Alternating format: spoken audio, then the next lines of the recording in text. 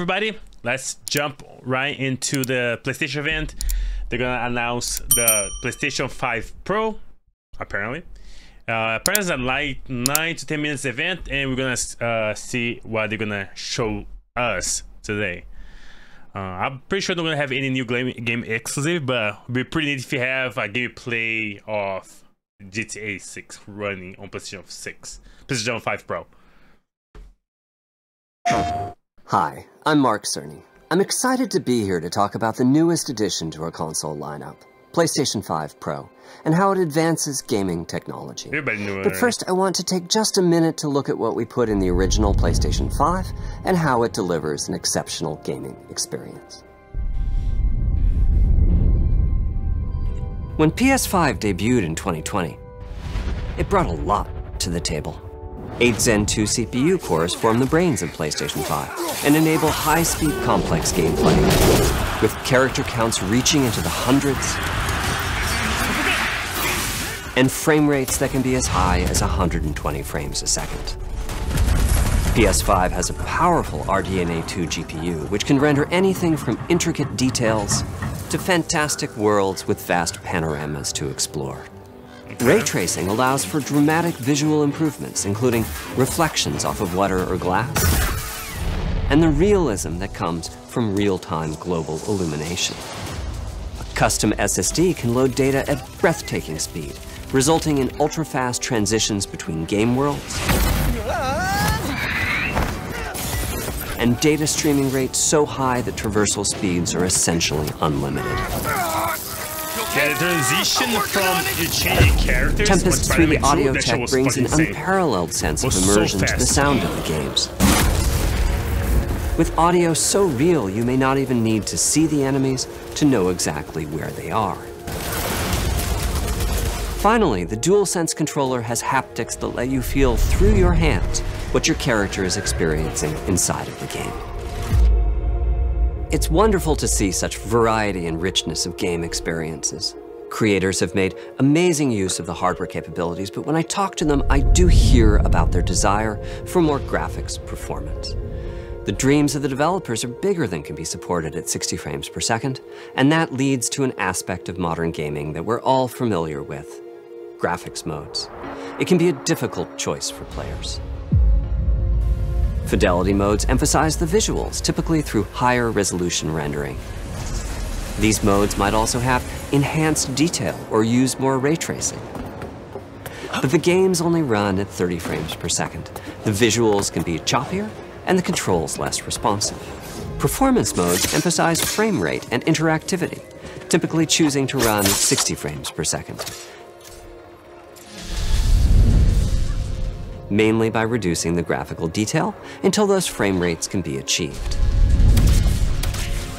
When asked to decide on the mode, players are choosing performance about three quarters of the time. Removing that decision, or at least narrowing that divide, is one of the key targets for PlayStation 5 Pro. We want to give players the graphics that the game creators aspire to, at the high frame rates that players typically prefer. To do that, PS5 Pro substantially improves over PlayStation 5 in three ways. Here's what we call the Big Three. First, we made the GPU much larger and increased the speed of the memory it uses. The result Okay. is rendering that's up to 45% faster. Okay. Second, we made That's a lot. major upgrades to the ray tracing, taking a streamlined and accelerated approach that allows calculation of the rays at double or even triple the speeds of PlayStation 5. And finally, we added custom hardware for machine learning and an AI library called PlayStation Spectral Super Resolution, or PSSR for short. PSSR analyzes the game images pixel by pixel and can add an extraordinary amount of detail, which boosts the effective resolution of the games. Game creators are adding PS5 Pro support to new and existing titles, and with the big three involved, the results can be pretty amazing, with graphics showing something like fidelity levels of detail, but at double the frame rate. Here's The Last of Us Part 2 running on PS5 Pro. It has huge amounts of detail and targets a super smooth 60 frames per second. Let's compare this to the fidelity mode on PS5, which is only running at 30 frames per second and is therefore much choppier. Don't stop! We gotta lose. Yeah. This goal of delivering almost Show GTA 6, fidelity-like graphics at performance frame rates has been achieved for a broad set of titles, including Marvel's Spider-Man 2 and Ratchet and Clank Rift Apart. We can see that PS5 Pro is close to doubling the power of PlayStation 5. Another way to compare the two consoles is to look at PS5 Pro versus Performance mode on PS5, both of which target 60 frames per second. What we see here is a difference in detail. PS5 Pro is much sharper and crisper than PS5. For this, my favorite is the parade scene from Ratchet and Clank. Distant details are much clearer. And here we can see Marvel's Spider-Man 2 is noticeably higher resolution throughout the scene, including Yeah. the trees and procedural cars. So overall, some remarkable improvement to the games. On PS5 Pro, we can see increased sharpness to the graphics or smoother and more responsive gameplay. This is the big three showing their value. As you've been seeing, machine learning via the PSSR library is being used quite broadly to add pixel detail and boost frame rate. But there are as many approaches as there are game engines. The increase in raw GPU power is being especially effective for Horizon Forbidden West. Apart from the detail boost, that extra graphics power is allowing for improvements to lighting and visual effects,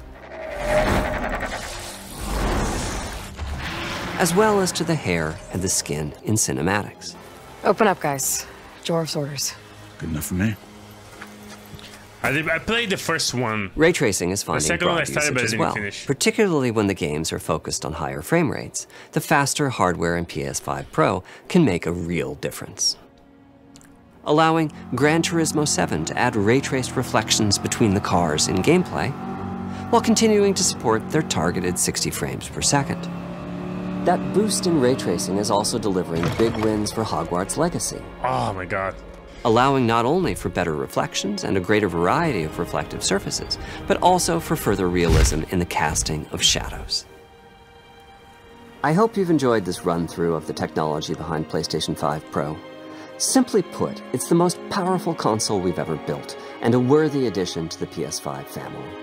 Let me wrap this up by giving you a quick look at a number of games running on the new console.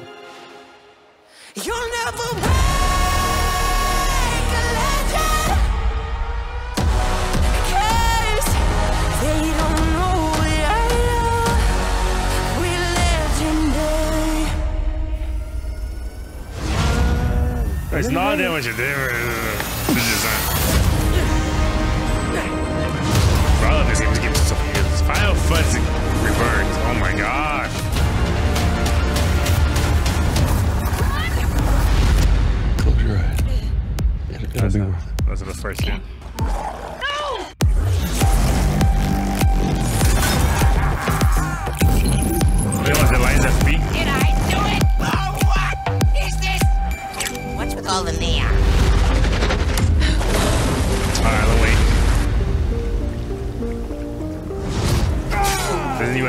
Assassin's Creed, I think.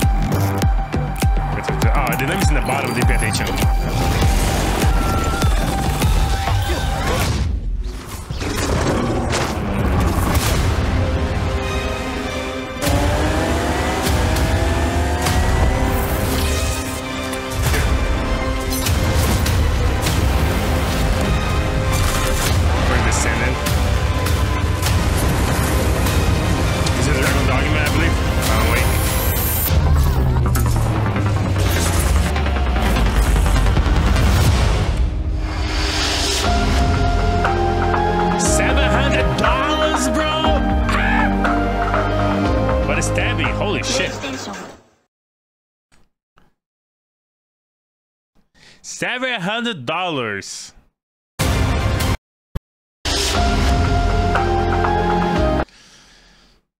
Okay, that was the announcement for PlayStation 5 Pro. Um, 700 bucks, releasing um, available to order on November 7th of this year. Includes taxes, so probably gonna be around like 750 bucks. Um, vertical stands sold separately. Okay. Um, I'll I don't know what to say. I don't play as console as much as used to. Usually when I play console game, it's just when the, the game is exclusive for the console. Because usually I play PC more. It's easy for me to record. It's easy. Um, um, graphically, give more options for you. But um, main games such as Final Fantasy, uh, Final, Final Fantasy um, the Last of Us, stuff like that is the games I play on console. Um, because usually they release first. Because if they if they release like after, I will like play on PC still. But I don't I don't want to wait that long to play. So I always play. Um, this game is releasing first platform. Um, is the, the way the one I choose to play first. But not bad. Uh, seems like the graphics in, in um, um, increase a lot of quality.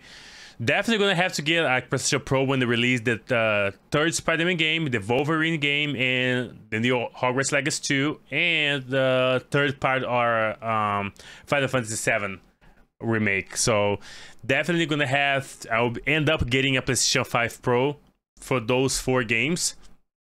Until until then, no really reason to get one right now.